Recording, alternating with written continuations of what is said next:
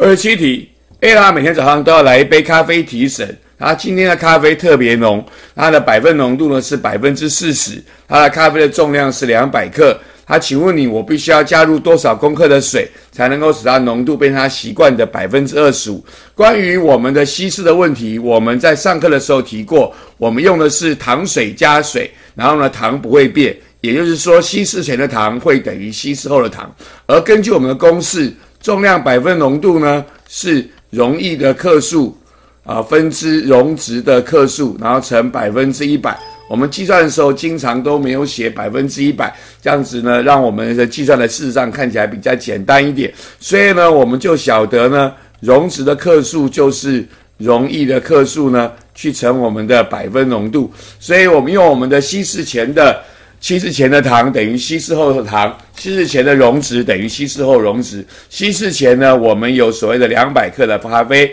然后呢，它的百分浓度呢是百分之四十。那么稀释后呢，要不知要会变成两百，然后加上我们的水，不知道 x，然后要去乘我们的百分之二十五，变成百分之二十五。所以这里算出来呢，这边是八十，然后呢，这边会进去会变成。啊，五十加上四分之一 x，所以呢，三十等于四分之 x，x 呢会等于一百二十，也就是说呢，我们需要加水一百二十公克，所以呢，第二十七题的答案呢，我们要选择的是 C，一百二十克。